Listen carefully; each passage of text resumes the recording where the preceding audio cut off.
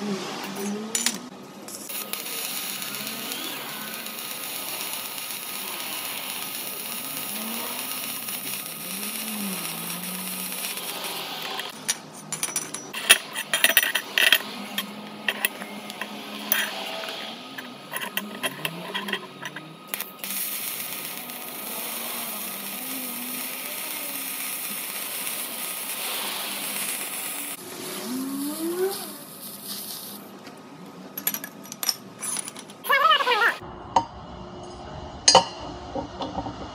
上げる溶接なんであまり溶かし込まずに溶かし込まないように上にこう乗せるような感じで溶接してます。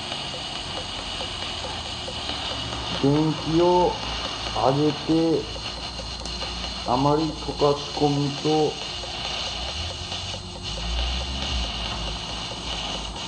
なんていうかなこう端っこと端っこにこう端と端にこう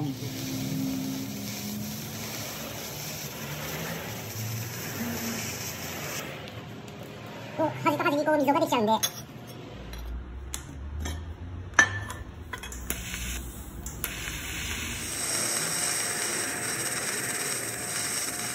電気を上げて溶かし込むと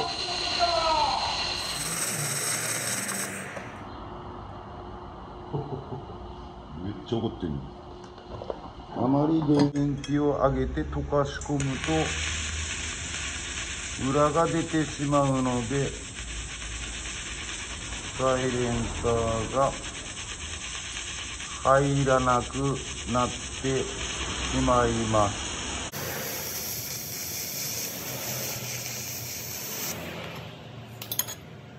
このぐらいの電気で。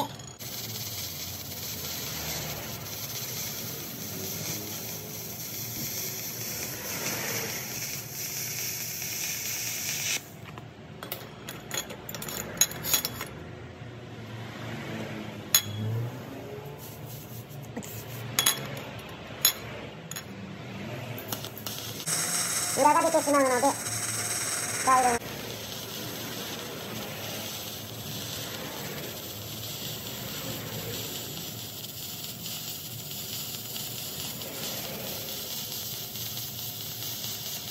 あまり溶かし込まずにやってます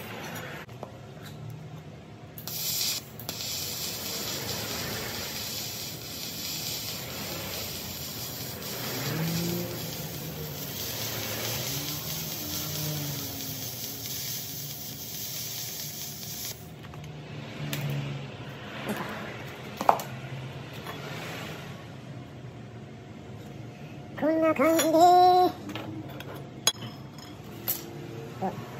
こんな感じで溶接こんな感じで溶接してます。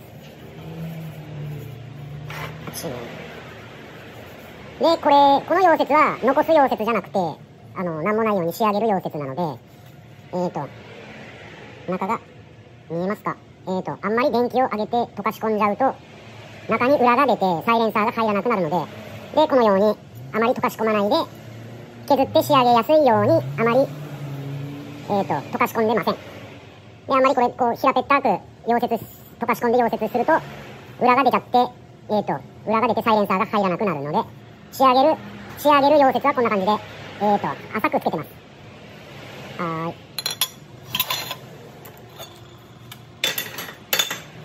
そうっすね。浅漬け。浅漬け溶接みたいな感じですね。はい。